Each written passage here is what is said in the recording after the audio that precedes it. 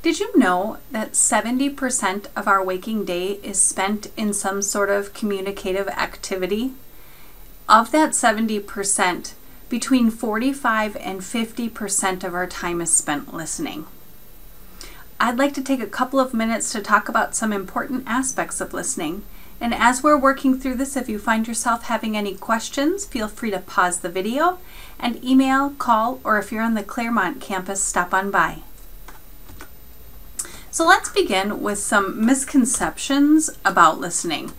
Um, people often think that listening is a natural process. If you are a hearing abled individual, hearing is different than listening. Hearing is all about biology, sounds reverberating off of um, surfaces and then going and processing through the eardrum to produce a sound. But listening, on the other hand, is a very active, involved process. So listening is not a natural process. Listening is a skill. Um, another misconception is that people think that listening is really easy and that it requires little effort. In fact, it requires a lot of effort depending upon the messages that we're receiving. In a couple minutes, we'll spend a little bit of time talking about the different types of listening because depending upon the type will depend upon how active the process is, which will then require you to use certain levels of effort. Another misconception is that all listeners receive the same message. This is false. We all can listen to a message and walk away hearing certain aspects of the message based upon uh, physiological, social, cultural, and personal factors that influence our listening. It's kind of like when we were talking about perception and this idea that um, the perception process is how we select, organize, and interpret. That's typically based upon what we are bringing to the table based upon our past experiences and present feelings and circumstances. The same rules apply to how we listen. We've got those physiological factors, social factors, cultural factors, and just personal experience that um, influences how we listen. So, those are some misconceptions. Let's talk about the listening process itself. Listening, again, is a very active process and it starts with hearing. That's that uh, cycle or physiological dimension of listening. So it involves a process to be able to interpret sound based upon how it um, resonates off of different surfaces. Next is how we filter out and focus in on what it is that we're hearing. After that, the third step, or the third step in the process, I should say, is interpreting and making sense of the message. So we're attempting to hear, attend, and then make sense of what it is that we think that we've heard. And based upon that process, the next process is responding.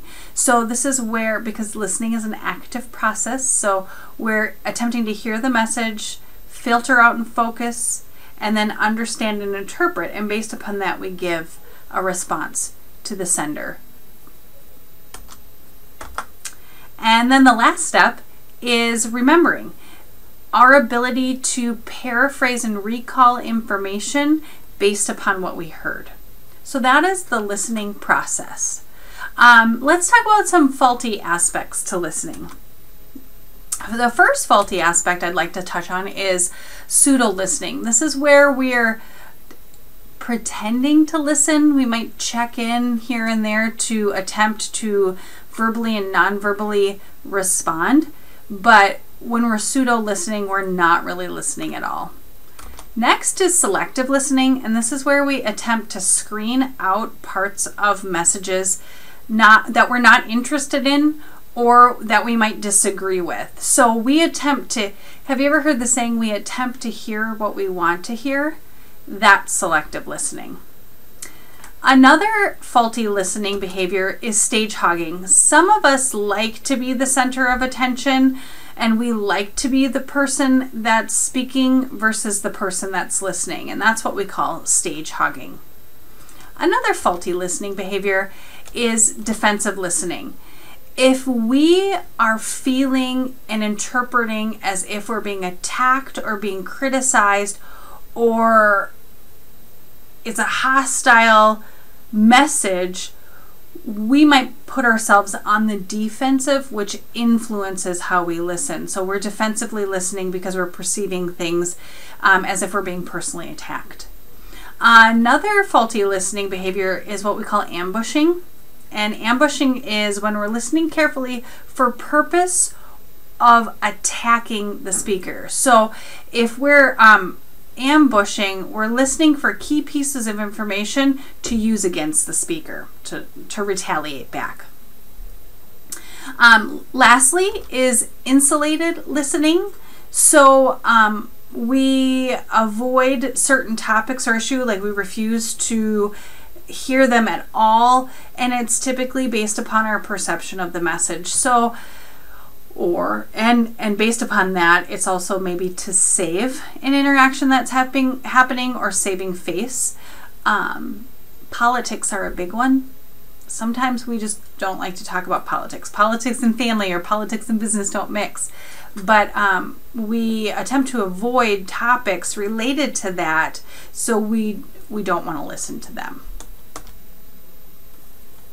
Um, we also have insensitive listening, and that might be being unable to look beyond words and behavior to understand a message. So sometimes, if we have somebody who we just really don't like, um, we might be unable to look beyond what we don't like about that person to listen to the message. And that's another and final faulty reason of uh, faulty listening habit. Um, let's talk about reasons for poor listening. Sometimes we're getting too many messages. We're being bombarded with messages. So it might be difficult to listen, listen due to message overload. Sometimes we're have, having thoughts and we're thinking about what it is that we want to say next and that's what we call rapid thought, which is another reason for poor listening is we're too concerned with what we're going to say next, so we're thinking about that versus listening to the message. Um, psychological noise, that's um, the noise that's happening inside of our head. So um, if you're not feeling well or you're worried about something, that's that psychological noise that's happening inside of our head. So we're focused in on that versus listening to what the person that we're communicating with is actually saying. Um, we also have physiological noise or physical noise. This is the noises that we hear in the environment that's around us. We attempt to compartmentalize those things. However, um, sometimes that can be difficult, and when we can't, we're listening to that psych, uh, the physiological or physical noise, and we're not listening to the person that's communicating with us.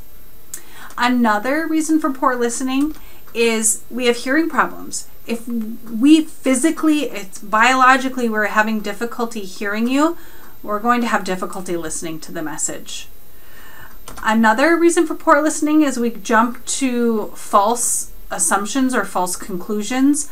Um, and when we do that, we are so concerned with um, going, there's a, trying to understand the hidden meaning behind the message that um, we stop listening. Another faulty listening, another reason for poor listening might be um, talking has its advantages.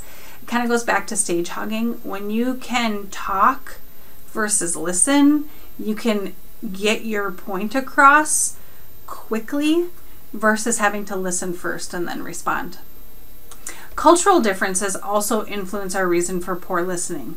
Um, we talked about cultural aspects as it relates to perception, how we select, organize, and interpret, but cultural differences also influence how we listen. If we are listening to somebody who has a completely different outlook on life due to culture, we might find it a challenge to listen.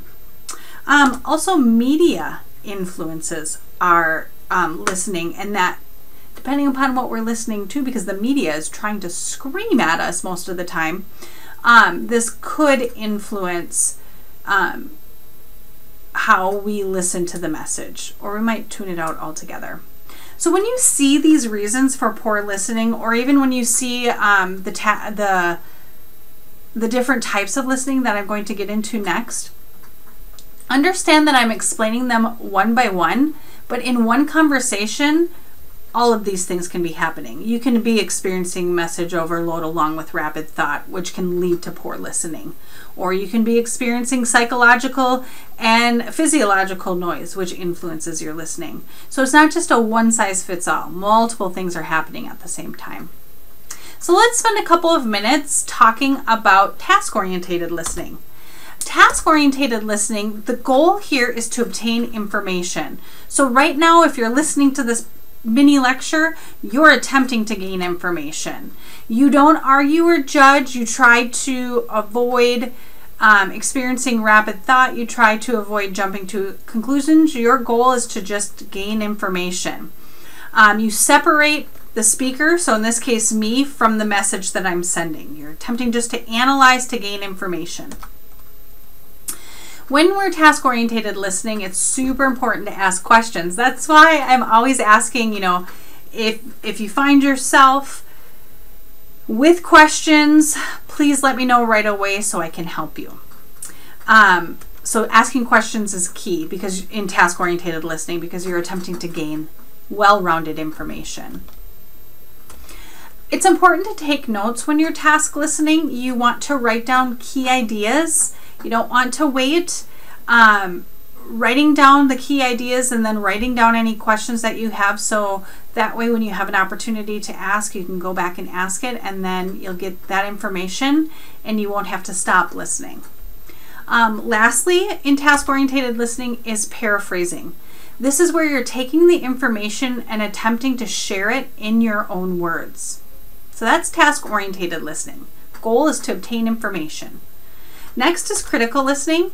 The goal of critical listening is to assess quality of the message. So when we're critically listening, we are attempting to either accept or reject the message. Here you are evaluating the speaker's credibility through examining their evidence, so the support that they're using and their reasoning behind the support. You also want to examine how they're using emotional appeal. So, how are they attempting to appeal to your mind and to your heart? And that is critical listening. So, you're just assessing the quality of the message to either accept it or reject it. Next is analytical listening. This is one of my favorite types of listening because your whole goal is to obtain a variety of perspectives. So, this might be most evident when you're listening to people in your group discuss, if you're in a group situation. Um, you're attempting to gather a variety of perspectives, but you're also judging the quality of the message to either accept it or reject it. So, you're listening, though, specifically to the information that's being given to you and then judging that quality of the information to accept or reject it. And again, you're getting a variety of perspectives in order to do that. Next is relational listening. Again, this is one of my favorites. Relational listening is all about advising. So you're attempting to listen to provide support, solutions, suggestions, and to give choices. You um, are judging or evaluating the message positively or negatively while maintaining respect for the individual. So, in this judging step, you're relationally listening and you're evaluating the message um, through a positive or a negative lens, but you're still maintaining respect for the individual. You're also analyzing, so you're attempting to interpret the message and break down the elements. When you were relational listening, you're also questioning. So you're attempting, you're not questioning to evaluate necessarily, you're questioning to provide yourself further understanding to remove any sort of uncertainty from the sender. Um, you're also providing comfort, so offering agreement, um, helping, giving praise, reassurance, um, and acknowledgement. When you're relational listening, you want to prompt the individual to continue to talk. So um, they might be using silence, um, and during that silence, that might be a really great place where you offer encouragement to draw out a more detailed response. Classic case is if you're listening to maybe your your child or an employee and you're doing so to provide support, um, you might want to use a little prompting to help them draw out more explanation in how it is that they're feeling, thinking, or processing um, based upon what it is that they're sharing with you. So, those are just highlighting some key aspects of listening. Again, as you go through this PowerPoint mini lecture with me, if you have any questions, feel free to email, call, or stop by.